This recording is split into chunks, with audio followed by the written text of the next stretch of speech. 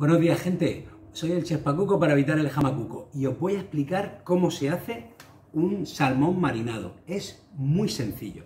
Lo primero que hemos tenido que hacer es haber congelado el salmón para evitar el, anisakis, ¿de acuerdo?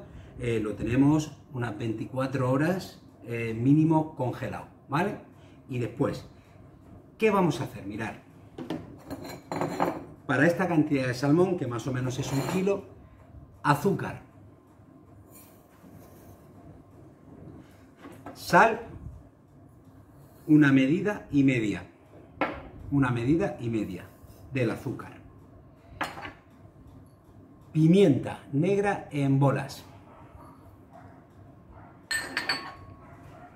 ralladura de limón y de naranja.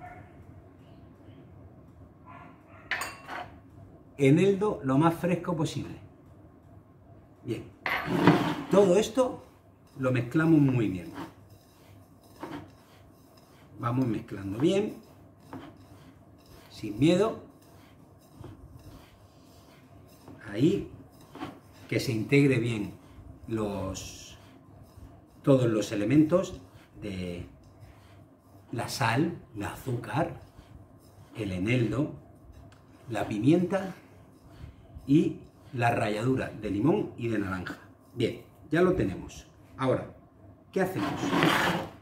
En un recipiente cualquiera ponemos una pequeña capa. ¿La veis? Una pequeña capa. Depositamos uno de los lomos con eh, la piel hacia abajo. Ahí está, con la piel hacia abajo. Le añadimos otra capa por encima, que lo cubra perfectamente. Ahí está. Ha quedado cubierto. Ponemos la segunda con la piel, en este caso, hacia arriba y la enterramos otra vez en nuestra mezcla de sal, azúcar, eneldo, pimienta y ralladura. ¿Vale? Aquí lo tenemos. ¿Qué hacemos ahora? Le ponemos un peso. Pues yo el peso que tengo es, pues mira, este paquete de sal, ¿lo veis? Le ponemos este peso y papel de cocina, papel film, papel de plástico.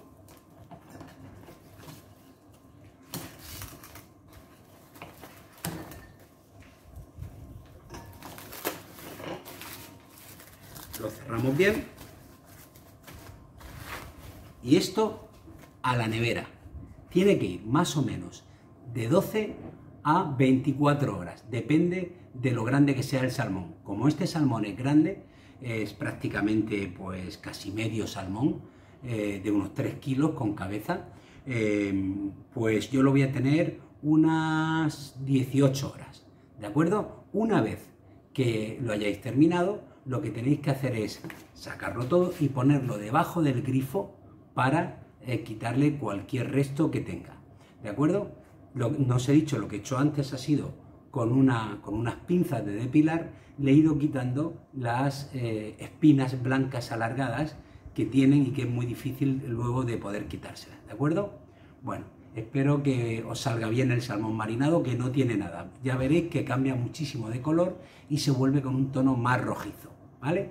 Chef Pacuco, para evitar el jamacuco.